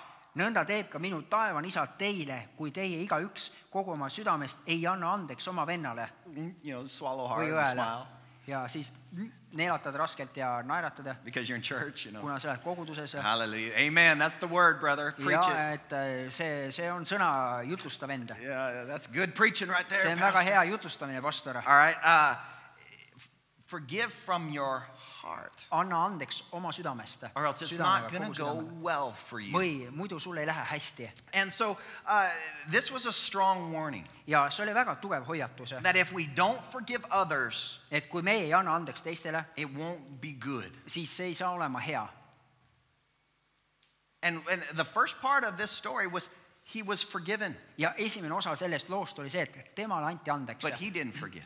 aga tema ei andnud andeks. What did John write later? He said, You need to forgive others the way that God, through Christ Jesus, has forgiven you. ja mida Johannes seal hiljem kirjutas, et teie peate anda, andma andeks nii, nagu Jumal on teile andnud andeks Jeesuses Kristuses. He's forgiven us of so much. tema on meile nii palju andeks andnud, But she looked at me wrong when she came in this morning. aga tema vaatas mind valesti, kui ma, kui ta täna hommikul tuli siia. Where's her respect? et kus on see austus Or või, the way he treated me when I was young, it's affected my whole life. või see viis, kuidas tema kohtles mind, kui mina olin noor, see on mõjutanud mind kogu mu elu And I'm not ever to forgive him. ja mitte kunagi ma ei anna talle andeks. What are we doing? mida meie teeme? We need to forgive them like he's forgiven us. meie peame andma andeks talle, nendele nii, nagu te, Jumal on andnud andeks meile. So that we start with that fresh slate, a, a new day. et niimoodi, et meie siis alustame selle uue päeva värskelt lehelt That we let everything go. We don't hold anything in us even though they were wrong. me laseme kõigel minna, me ei hoia mitte millestki sellisest kinni, kuigi tema eksis minu vastu And we have this mentality that if I forgive her for what she did, that means what she did wasn't wrong. ja seega, If I forgive her for what she did, ja kui mina annan talle andeks selle, mida tema tegi, th- then that means what she did wasn't wrong. siis see tähendab seda, et mida tema tegi, ei olnud vale. Because she didn't even ask for forgiveness and I forgave her. anyway. sellepärast ta isegi ei palunud andestust, mina ikkagi andsin talle andeks. So, in other words, that means that's okay. seega kõik, kõik on hästi. Forgiveness doesn't mean it's okay, andestamine ei tähenda seda, et, et see oli õige tegu. right? On nii. Don't misunderstand forgiveness. et ära saa aru, ära saa valesti aru andeks When you andmisest. forgive somebody who was wrong, you're free. kui sina andestad kellelegi, kes eksis sinu vastu, siis sina oled vaba. They're still wrong, et nemad ikkagi on jaa eksinud ja nad but on, you are free. aga sina oled vaba. You know, and, and it's, uh, wow, okay, wow. You know, I could stop right here and I could say, all right, go home and chew on that. ja ma võiksin praegu lõpetada siin ja öelda seda, et tead, mine koju ja näri seda. And next week I'll tell you how to forgive somebody. ja järgmine nädal ma ütlen, kuidas kellelegi andeks anda. Now, but before we go, I want to tell you how to forgive. ei, aga enne kui me täna siit läheme, ma soovin öelda seda, et kuidas andestada So you're going to need to give me 10, maybe 20, maybe 30. nii et No, sa pead mulle 10 andma minutes, give me 10 äh, minutes. kümme või kakskümmend või kolmkümmend minutit, tegelikult kümme minutit. But because I want, I want you to know that this message is it's not about me, ma soovin, et sina teaksid seda, et äh, see sõnum nüüd eh,, see ei, kuidagi ei seisne minus eh., but I've lived this aga ma olen seda elanud and I know that this works. ja ma tean, et see toimib. So this message is not about me, but it's it, it's for you. et see sõnum ei ole minust, vaid see sõnum on sinu jaoks. This can be life changing for you see today võib olla sinu jaoks elu muutev because täna this, is the love of God. kuna see on Jumala armastus And, and this is not just uh, saying, this is not me just saying something, et see ei tähenda seda, et sa lihtsalt ütled midagi, but I'm saying something that I know works aga ma ütlen midagi, mis ma tean, et see toimib, because it's worked for me. kuna see on töötanud minu jaoks And. here are three steps to forgiveness. ja siin on kolm äh, sammu andestamiseks And I want you to look at, at forgiveness like a court case. ja ma soovin seda, et sina vaataksid äh, andeks andmisele kui sellisele kohtuasjale And here's the three steps we're going to look at. ja siin on need kolm sammu, mida meie vaatame. Number one, esiteks, we charge the defendant. me esi-, esitame süüdistatavale süüdistuse. What does that mean? mida see tähendab? That means you declare, you hurt me. see tähendab seda, et sina ütled, et sina tegid mulle haiget, You did wrong. sina eksisid, käitusid You valesti. took from me something that could never be returned. sina võtsid minult midagi sellist, mida mitte kunagi ei saa anda And. you need to identify what was taken. ja sa pead siis nagu identifitseerima, selgeks tegema, mis nüüd ära võeti. And you stole this from ja me. sina võtsid selle asja minult. You said that to me. sina ütlesid seda minule And, and, and uh, you know, don't, don't get to a point where you just say, well, I just forgive everybody of everything. ära jõua sinna paika, kus sa ütled nii, mina lihtsalt annan kõigile kõik andeks. No, you need to be specific. ei, sa pead olema äh, täpne siis, Because- spetsiifiline. Unspecific forgiveness does not cover specific hurts. sellepärast, et selline lihtsalt üldine andestamine ei, siis ei kata selliseid spetsiifilisi haiget saamisi. So if you're holding something, you need to say, you did this to nii me. et, et kui sina siis hoiad midagi, siis sa pead ütlema, et tead, sina tegid mulle seda asja You, hurt my body. et sina tegid minu kehale haiget, You hurt my feelings. sina tegid minu tunnetele haiget, You stole my childhood. sina varastasid minu lapsepõlve, You ruined my reputation. sina rikkusid minu maine And I charge you. ja mina siis äh, esitan sulle selle süüdistuse. You did wrong. sina eksisid, sa tegid valesti Step two, ja samm kaks, drop the charges. loobu süüdistustest. First, we charge the defendant. esimene, kõigepealt me süüdistame süüdistatavat Second, we drop the charges. Don't press the ja charges. teiseks me loobume süüdistustest, me ei, me ei anna neid edasi. Now, again, I'm not talking about legal matters. jällegi ma ei räägi praegu siin sellistest lihtsalt mingist If kohtuasjast. somebody does something wrong to you, the, you know, the Bible tells us the government has a sword, let them use it. ja kui keegi eksib sinu vastu, siis ja ta on teinud midagi sellist, mis on seadusega vastuolus, siis äh, jumala sõna ütleb seda, et, et siis riigivalitsusel, kohtusüsteemil on olemas see, see mõõk. You know, you can forgive them and then take them to court and they will pay you back sa võid neile andeks anda, viia neid kohtusse ja nad maksavad sulle tagasi, because that's the right thing to do in that situation. kuna see on õige asi, mida teha selles olukorras So, legal matters, I'm not saying, you know, if somebody kills your wife, you just say, well, I forgive you, man. Have a great day. nii et kui on sellised mingid kriminaalsed asjad, seadusega vastuolus asjad, siis ei ole nii, et keegi tapab su naise ära ja siis ütled talle, ah, ma annan sulle andeks, et olgu sul hea päev. No, you, you, ei, you, you, you charge, charge them in that way. ei, sa esitad neile süüdistuse. But I'm talking about what's, what's on the inside of you. aga ma räägin sellest, mis toimub sinu sees. Is that you, you say, okay, you hurt me, but now I dismiss the case. Hea küll, sina tegid mulle haiget, ma loobun süüdistustest ja nüüd juhtum on siis lõpetatud tagasi get, lükatud kõik. get to that place where you say, you owe me nothing. et sa jõuad sinna paika, kus sa ütled, et sa ei võlgne mulle mitte kui midagi. kuna ma olen siis loobunud süüdistustest juhtum on lõpetatud. And when you make this decision, it's for your benefit. ja kui sina teed selle otsuse, siis see on sinu kasuks. And you don't even, you- listen, you don't have to talk to the, to the defendant to do this. ja tead, sa isegi ei pea rääkima sellele, kes siis sinu vastu eksis, They, it might be too late. Eh, võib-olla on liiga hilja, They might already be dead, võib-olla see inimene on surnud, but you're still holding this on the inside. aga sina ikka hoiad seda endas You don't need to talk to them. You don't need to call them on the phone and say, you know, I forgive you for what you did in 2003. Sa ei pea helistama neile, ütlema, et tead, ma annan sulle andeks selle asja, mis sina tegid mulle aastal kaks tuhat kolm. No, Ei. you don't even need to talk to them. ei, sa isegi ei pea nendega rääkima sellest this is asjast. something you give to ja mäletad, see on midagi sellist, mida sina annad iseendale You're. giving this to yourself. sina annad selle asja iseendale. And so we say, you hurt me, you did wrong, but you owe me me nothing. ütleme seda, et äh, sina eksisid mu vastu, sa tegid valesti, aga sa ei võlgne mitte midagi. And then point number three, to ja forgive,, ja siis see kolmas punkt, you dismiss the case. et on see siis jah, et sa lõpetad selle juhtumi siis, et tagasi lükatud kõik, juhtum lõpetatud, et juhtum on lõpetatud, kinni pandud. ja kogudus, palun kuula mind selles, kui see juhtum on suletud, siis see tähendab, et, et, et seda enam ei saa avada. Right? On nii. And so you charge the defendant, nii et sa esitad süüdistuse süüdistatavale, then you drop the siis sa loobud süüdistustest and then you close the case. ja siis sa siis paned, sulged selle juhtumi And you say, you owe me nothing. ja ütled, sa ei võlgne mulle mitte kui midagi, You owe me nothing. sa ei võlgne mulle mitte kui midagi. Would you just think about maybe something that's happened to you? Ja mõtle mingi asja peale, mis on juhtunud sinu vastu And let's just practice this right now. ja harjutame seda praegu And just say, you owe me nothing. ja ütle, et sa ei võlgne mulle mitte kui midagi, sa ei me võlgne mulle mitte kui nothing. midagi. That is a powerful, powerful sentence. see on väga võimas, võimas lause. That's something that can free you in your heart and in your life. see on midagi sellist, mis saab teha sind vabaks sinu südames, sinu elus And so this is this is where we need to get we need to get to this place ja meie peame jõudma sinna paika, where we have a conversation where it's just you and God. kus meil on see vestlus sinu ja Jumala vahel And and we, we do this with a purpose. ja me teeme seda eesmärgiga. And you know, forgiveness, it's not going to replace your memories. ja andestamine, see siis ei vaheta välja sinu mälestusi. Again, I wish it was that easy. jällegi ma soovin, et see oleks nii lihtne, But there's going to be times or conversations that are going to remind you of that happening. aga saab olema aegu, saab olema vestlusi, mis meenutavad sulle seda asja, But when you remember those things, aga kui sina mäletad neid asju, this is what you also need to meelde remember., siis samuti sa pead ka seda endale meenutama Oh yeah, but that case is closed. jah, aga see juhtum on suletud. Yeah, that happened, but that, that case is closed. jah, juhtus, aga see juhtum on suletud.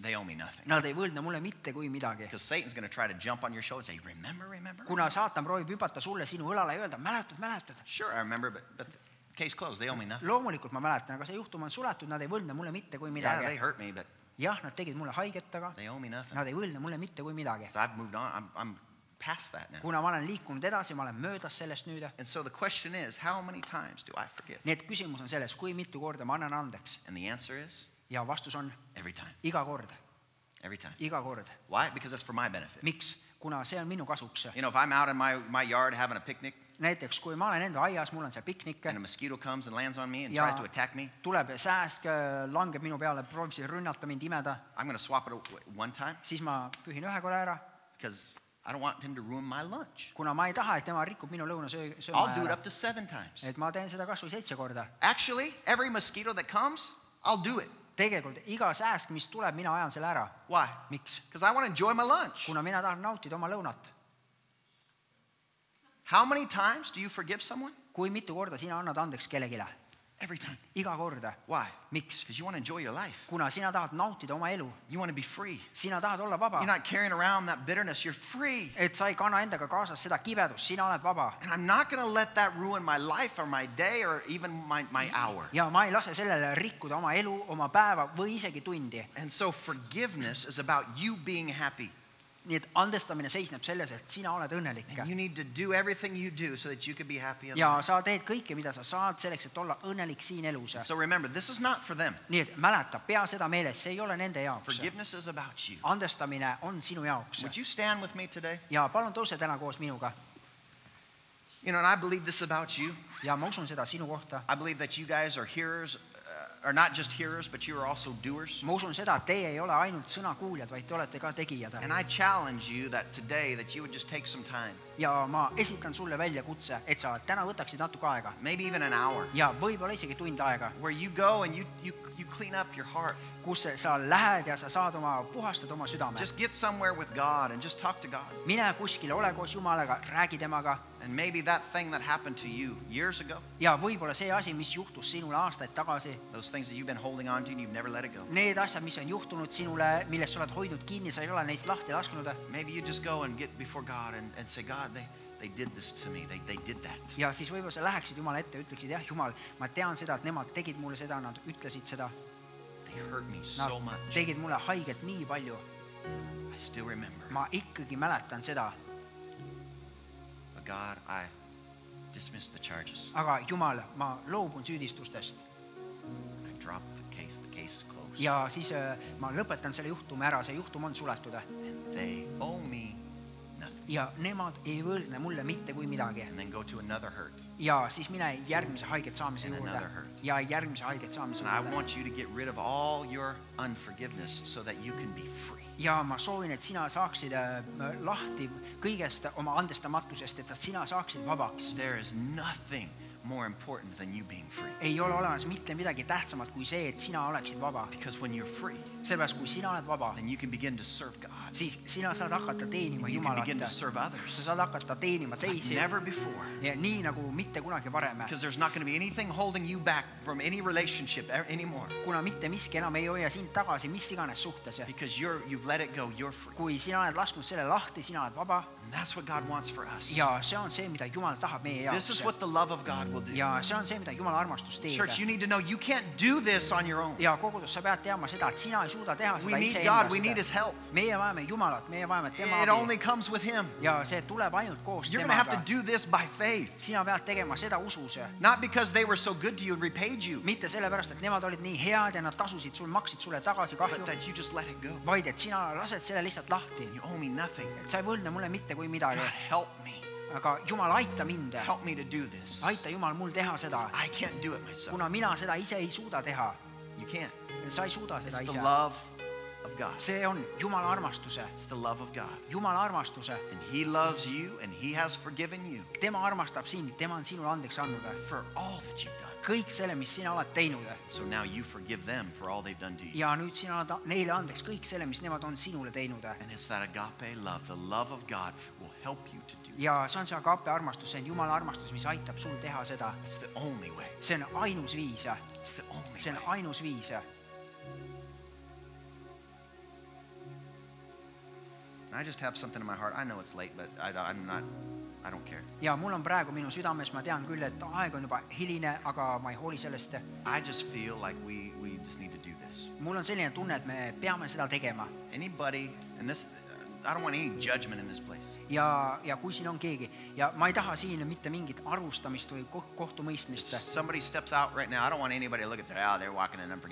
Oh, ja kui keegi astub praegu välja, siis ma ei taha, et teised vaataksid, et vot, et ta käib andestamatuses. no, but this is just what I believe in my heart. ei, aga see on see, mida mina usun oma südames. I believe that when we take a step out, sometimes when we take that step of faith, et kui meie võtame mõnikord sammu, me võtame ususammu, that there's there's just something about doing that. There's something about that action that just causes causes it to become a reality. siis eh, selles on midagi, selles teos on midagi, mis põhjustab seda, et see saab reaalsuseks meie jaoks And. listen, I don't want you to go to bed tonight with that poison in you. ja kuula, ma ei taha, et sina täna läheksid siis koju oma voodisse nii, et see kibedus on But sinus I. don't want you to live another moment with that on. aga ma ei taha, et sina elaksid hetkegi veel selle kibedusega And so I, I would love uh, for, for you to just be free. ja mulle väga meeldiks see, kui sina lihtsalt saad vabaks And I believe this. ja ma usun seda, I believe that if, if, if you will take a step out this morning, if you'll come down to the front here in just a moment, kui sina täna võtad selle sammu, sa eh, hetke pärast tuled siia ette that that unforgiveness will just fall off of you. siis see andestamatus, see lihtsalt langeb ära sinu pealt. That you can get things right between you and your God. et sa saad asjad korda enda ja Jumala vahele you can get things right between you and those who have hurt you. ja siis sa võid saada korda need asjad ka, mis on siis äh, suhted teist, mis on siis äh, sinu ja selle inimese vahel, kes on sinu vastu eksinud. you can be free. nii et sina võid saada vabaks. Give that gift to yourself today. Tee see kingitus endale täna. Give yourself that, that gift of forgiveness. anna endale see andest, andeks andmise kingituse. So you could leave here changed. nii et sina saad täna siit minna muudetuna And so uh, I'm, I'm going to pray, and if you want to come to the front, you can come. ja ma palun, kui sa soovid ette tulla, sa võid